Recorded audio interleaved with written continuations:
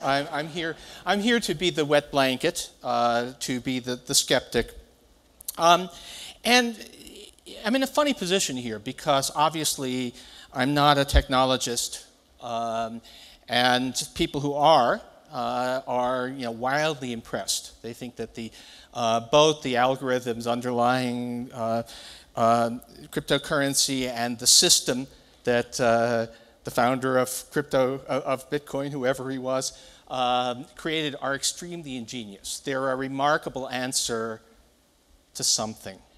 Uh, I used, when I was a, a, a kid, uh, I had a math teacher who, if you gave a wrong answer, would say, "Save that answer. I might ask that question someday." Uh, and the question, really, what we'll come back to, and I will come back to, is, is really what problem does cryptocurrency solve? Um, before I get there, I want to talk a little bit about um, the. Let, us talk about money, which is the monetary economics is something I think I do understand, or at least have, have put in a fair bit of time on, um, including the history. And I think the history is a, is a relevant starting point here. Um, so, money, first thing to say about money is remember always that money is only incidentally an asset. It's not something that produces in and of itself. Money is a lubricant. Money is something you use to facilitate transactions in the, in the real economy. Um, and what you want is for that lubricant to be as invisible, as frictionless as possible. Um, and the history of money has been one of making uh, money increasingly invisible, increasingly frictionless, uh, has been one of pushing it into the background. So in the beginning, there were metallic, there was metallic money, gold and silver coins, um, which had some important virtue. First of all, they were a whole lot better than barter. A lot easier to hand over a few gold coins than to say, uh, I'll give you a cow in return for two sheep. Um, but, uh, uh, and they were, they were relatively easy to verify. Uh, you could bite them to make sure they really were gold. You could weigh them to make sure they had as much gold as they were supposed to. Um, they were also cumbersome. Uh, they were a little bit difficult. You had to carry around clanking bags of stuff. Uh, there was high risk of theft. Uh, of theft. Of uh, so making transactions with metallic coins was always a little bit difficult. And in fact, quite early on, uh, people resorted to indirect ways of, of of making transactions, particularly at long distances. So if you ask, what was a bank uh, in the 17th century? Uh, what was a bank in the year 1700? It wasn't actually mostly a place that you know, lent money or anything like that. It was actually mostly about uh, transactions. If I was a, a merchant uh, in Italy and I wanted to make transactions in Belgium, uh, I would get a letter sent from my banker in Florence to uh, to the banker in Bruges, and uh, um, I would hand coins over in one place, and, and my agent would be able to collect coins at the other end, bills of exchange. Um, that was a system that worked, but it was still cumbersome. Then came paper money. Uh, instead of carrying around bags of gold coins, you carried around uh, printed pieces of paper that were a promise to pay gold coins on demand from a private bank uh, which was a huge advance. Both actually was a huge advance in two ways. It, it, was a lot easier to carry around and make your transactions, and it also meant that fewer resources had to be expended in digging up uh, and smelting gold and silver. So you, you, re- you reduce the real resources. Um, then we evolved into uh, pure fiat money, where there, are, there is no gold or silver behind uh, the notes. They're simply the, the statement of the government that this is legal tender. Uh, and what, what enforces that, I mean, a, a, bank in, in the old system had to have sufficient gold and silver uh, in reserve that it could pay on demand. Uh, what keeps uh, most currencies uh, valuable is the belief that, well, two things. The belief that governments will exercise restraint in issuing currency, uh, and the fact that legally you can pay taxes. So if you like, the thing, whole thing is backstopped by, uh, by the fact that you can satisfy men with guns who demand payment by giving them these pieces of paper. Um, and then we moved on from paper currency uh, to increasing the use of means of payment that uh, did not actually require even the paper currency. So payment by check, obviously, payment by credit and debit cards, now payment by mobile phone. Um, at each stage of this uh, evolution, we've moved towards a system where the cost of uh, making transactions is lower and the resources used in producing the medium of exchange get ever lower. We use less and less. We don't mine for gold for monetary purposes anymore. We don't have to uh, spend a lot of time um, uh, you know, hiring guards for the coaches that are carrying bags of gold and silver from one place to another. Um, the direction of that evolution, if you're asking where, where would that lead you to think we were going, it would be towards a cashless society. It would be towards one where uh, money was really just an accounting entry someplace, and in which payments were made, uh, well, for, for now, maybe by waving your, your phone, you know, Venmo, by waving your phone at something, maybe at some point the, the chip in your brain will, will just do it. But anyway, the, uh, um, and that is the, you know, that up until not too long ago would have been the way that you thought that money was evolving.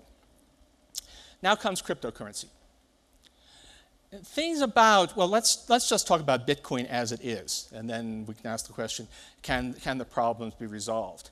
The striking thing about Bitcoin is that it sets up a system in which, uh, first of all, uh, the creation of this currency involves a lot of real resources.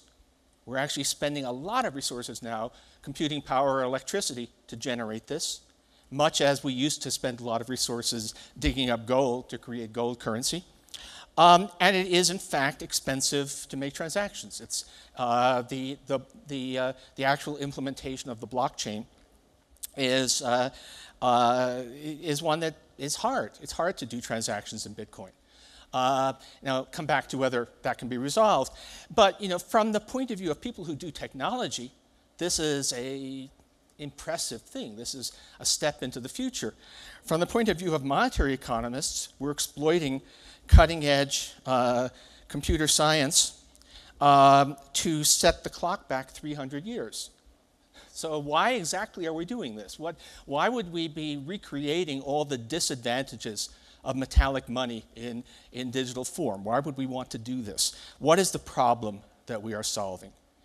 Uh, and don't say, well, digital is good because there's lots of forms of digital payment out there. We could be moving that way. I mean, we, we could, um, we may uh, uh, quite soon have entire national economies that are completely digital money. Sweden is, is contemplating the abolition of cash.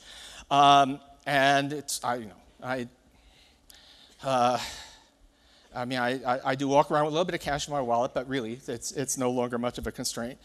Um, so it's not about the digitality of it. Um, it's about, well, maybe we don't, maybe we don't trust governments. And so inevitably hyperinflation comes up. And yes, hyperinflations do happen. Um, they haven't happened a lot. Um, by the way, the, the traditional uh, definition of a hyperinflation from the economists love hyperinflation because we understand them really well, and so we love to dwell on them. And it's become a little bit hard to teach that particular class in your principles course because the hyperinflations are getting rarer and rarer. We're having fewer and fewer examples. So, you know, Zimbabwe actually is, on a dollar standard now. They, they, that, that's, that's in the past. Um, the traditional definition is 50% inflation a month. Uh, let's be looser. Let's say, let's talk about 50% inflation per year. So let me give you a comprehensive list of the countries that currently have inflation exceeding 50% a year. South Sudan and Venezuela.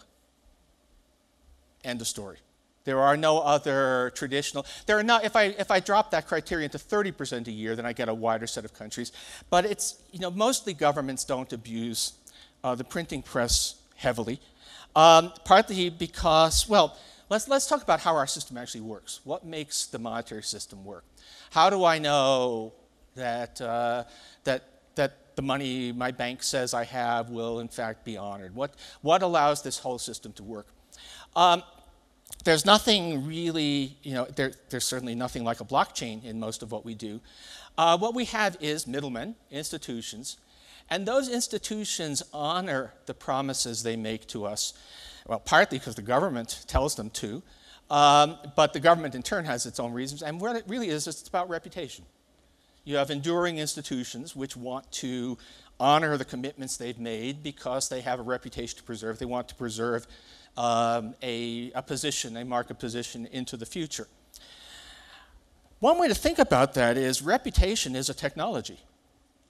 It's, it's, we, we solve a lot of problems in the economy by turning what could be one shot games, in which people literally take the money and run, and turning them into repeated games in which people have an incentive to behave well this period so that you will trust them next period and so on into the future. Uh, in fact, uh, you know, it's not just money. We couldn't run our economy at all if it was all one-shot games. Uh, it, it, has to, repeated games are what everything we do practically in a modern economy, actually in almost any economy, short of, uh, of um, I was about to say people, hunter-gatherers, but hunter-gatherers, you know, a group of 30 hunter-gatherers are engaged in repeated games with each other too. That's what keeps it going. Uh, so the interesting thing about all of this shift to cryptocurrency is it's saying, let's throw away this technology. It's, more, it's a social technology rather than a, than a, you know, a, a, mathematical technology, but let's throw away the social technology of repeated games and reputation and try and build a system that is going to operate purely on the basis of an algorithm that, that assures us that we have what we need uh, that, that this is a real Bitcoin. So we're basically saying uh, we're going to abandon the whole process of having banks and governments uh, produce currency you can trust. Uh, and instead, we're going to produce a digital equivalent of being able to bite a gold coin to make sure that it's really gold. Well, it's, it's amazing that they can do that. That's really impressive. But again, what is the problem that we're solving? Why are we doing this? Now, um, the trouble, the, anything, any system that's built on reputation um, runs the problem of potential defectors, of people who just say, oh, the hell with it, I'm just going to grab and leave. And that's going to be a problem. Um, it has historically been the problem with uh, occasionally governments engage in hyperinflation, although if you look at when it happens, uh, it's hyperinflation never happens just because governments are untrustworthy. It's always associated with political and social collapse. If you want to ask what what's going wrong in Venezuela, you know, in many ways the hyperinflation is the least of it. It's a, it's a much broader, much bigger issue, and uh, cryptocurrency is not going to put food in the stores when there's no food in the stores. Right? It's, it's, not, it's, it's, a, it's not fund, Venezuela's problem is not fundamentally a monetary problem, and most really severe monetary problems are not most really severe monetary problems are really political problems, and nothing you can do technologically is going to, is going to offer a resolution. Um, there is um, costs. Um, it is true that in some circumstances there seem to be rather high costs associated with middlemen. Um, it's, I think, quite interesting to ask why this is the case. Why does it cost so much to send remittances? And I doubt that that's inherent in the technology of conventional banking. In fact, I know it's not inherent in the technology of conventional banking. Uh, I suspect it has to do with a combination of market power, but also largely you know, government enforced barriers, particularly government barriers that reinforce that market power. Um, my parallel is think about roaming charges on your cell phone. Right? Why is it that you can travel um, thousands of miles uh, and face no roaming charges, and then you cross a particular border, and all of a sudden data becomes very expensive? Uh, there's nothing about the technology. It is no harder to, uh, to, to, to, uh, to connect me in another country. It's because, well, governments have intervened in bad ways and have, have allowed local monopolists to exploit their position. Um, Bitcoin, something like that, might offer a way around that, maybe being used a little bit. Uh, I have, I would, maybe Catherine and I can talk about this later. I'm very curious about how people who are unbanked and presumably they're, along with that, are presumably not on the internet, are able to use Bitcoin. I, am not, I'm not at all clear how that's supposed to be working, and I wonder if there aren't some middlemen we're not hearing about in the background that are actually making that function. Uh, but the, the, the, question really is, is this inherent? Is this a technological problem? Or are we talking about other kinds of problems which, you know, if you do find a technological solution, that solution is probably an end run around whatever the regulations are that are causing this thing to be a problem. Uh, and by the way, if you do an end run around government regulations, one of two things can happen. The governments can fix the regulations, or they can find a way to crack down on you. Uh, and if Bitcoin became really a, a serious, well, okay, it, uh, you'd be amazed at how quickly uh, whatever freedom you think you're getting via the blockchain would disappear. Actually, that was, that was one of the more interesting parts of Catherine's presentation. Um, the, um, um, now, do the costs have to be, the, meanwhile, the costs of actually using cryptocurrency are quite high. Both the cost of transaction and the costs of simply creating new units of currency. The resource use is a, is a big issue. Are those problems that are going to be solved through better technology? Is that something that is going to be, that um, God knows, there are clever people in Silicon Valley. Um, they will try to work on solutions. Can they actually solve this problem?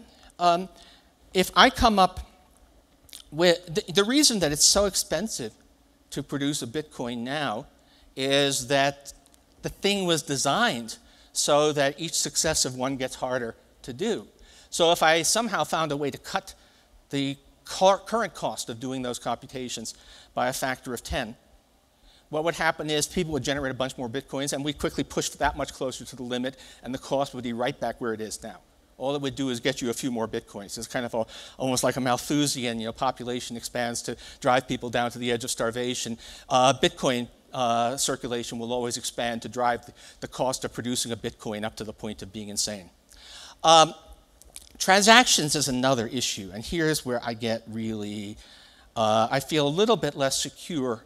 But if you're going to have a system where you are producing, providing incentives for people to validate the currency, that means you have to somehow, what, you know, one person's incentives are another person's costs. So how are you going to have a system that has the incentive that continues to provide incentives for validation that doesn't actually impose substantial cost on the users of the currency? And I, I, without being a technology expert, I just, just on general principles, I find it hard to understand how that works. If people, now, one thing that could happen is that people introduce alternative cryptocurrencies. But of course, if they do that, then we have a much larger supply of cryptocurrency and the price, the value of the existing cryptocurrencies plunges. So yeah, I can imagine a world in which there are, you know, uh, um, 100 cryptocurrencies with no dominant role for any one of them, but why would any one of them have any significant value if you did that? And that's not, again, about the technology, it's about the logic. Um, now, what is true is that Bitcoin and maybe one or two others um, have a kind of first mover advantage, which causes them to be what people think of. And they might, uh, I mean, it's the, the point that, that people do sometimes assign value to stuff that doesn't seem to have a whole lot of use um, is, is a good one. Um, you know, I talked about, uh, so first of all, here's the example of gold. And gold, yeah. Uh, now, gold is not money, not in any of the real senses. Nobody, you know, go into a, go into a store and try and pay your bill with, uh, with, with a bar of gold. It ain't going to work. Uh, gold is not, in fact, a medium of exchange. It's not something you can, in fact, use for, um, for transactions. Uh, it's not even all that easily converted into other mediums of exchange. Um, but gold is a something, it's an asset that people hold, and they, it's a lot of value out there, and, and it's, it's kind of sort of time honored. Um, gold isn't the only example of something like that. Um, when I said we, we tend to move towards a more abstract, frictionless economy where we use less and less actual cash, there's a funny thing if you actually look at the numbers. Um, if you look at the United States, the, uh, the ratio of currency in circulation to GDP fell steadily as far back as we can tell, up until about 1980. And then it started rising again. And we actually have substantially more uh, dollar cash in circulation relative to GDP than we did in 1980. Funny thing about that, however, is that all, actually more than all, of the rise in cash holdings is 50 and primarily $100 bills. So it's all high denomination notes, and um, which are also effectively not money. You really, uh, there are very few stores that will accept a $100 bill for, for a sandwich. Um, um, who's holding those things? Well, uh, indirect estimates suggest that something like two thirds of those high denomination dollar notes are held outside the United States.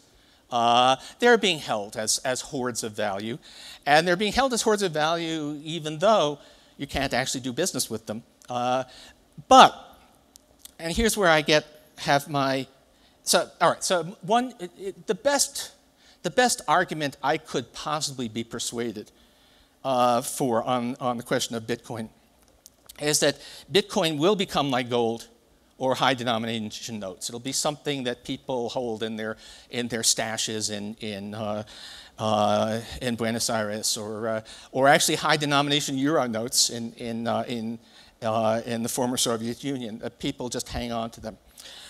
The trouble I have, and I'm not sure, I, I, have people who share most of what I say, but, but think that there, a lot of value will, will be retained, is can it just sit there as a self fulfilling prophecy? This stuff is valuable and therefore it's valuable.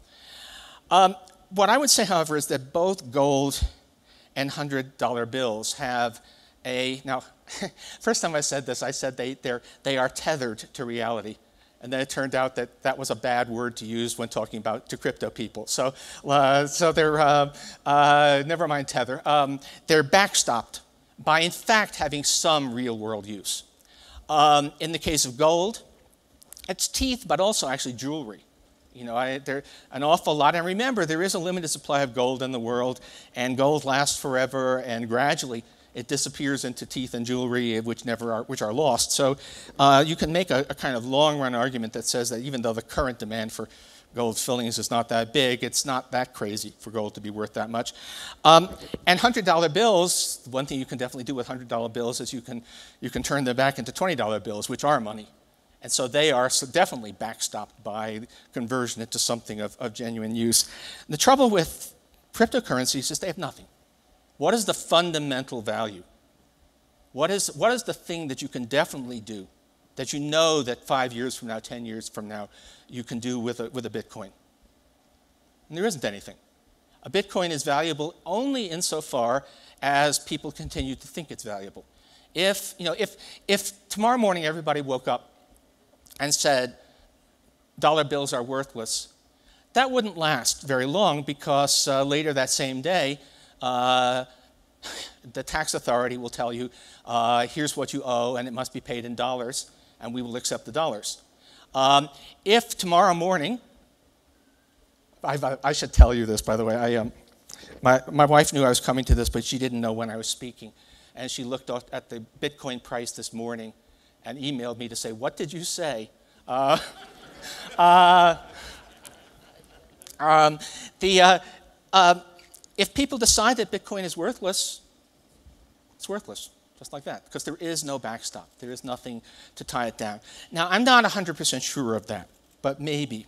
Uh, uh, but, but I think that there's a, certainly a, I would say a quite significant probability that the whole thing just drops to zero, uh, because I have not yet seen any reason why this has to be a valuable thing. Uh, broader applications of the blockchain and I think I'm going to probably want to stop there because I think we're well behind.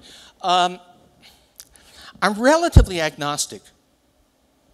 Um, although, again, I have to say the blockchain is a substitute, and so far a relatively expensive substitute for a technology that we've spent centuries developing the technology of trust based upon repeated transactions. So why exactly would we be wanting to do that? And so I, I, this is my second um, Bitcoin-related event in the last few weeks.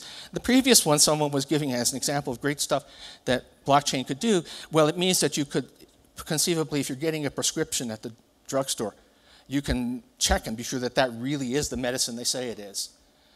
Uh, gosh, you know, there are a lot of things I worry about when getting medication.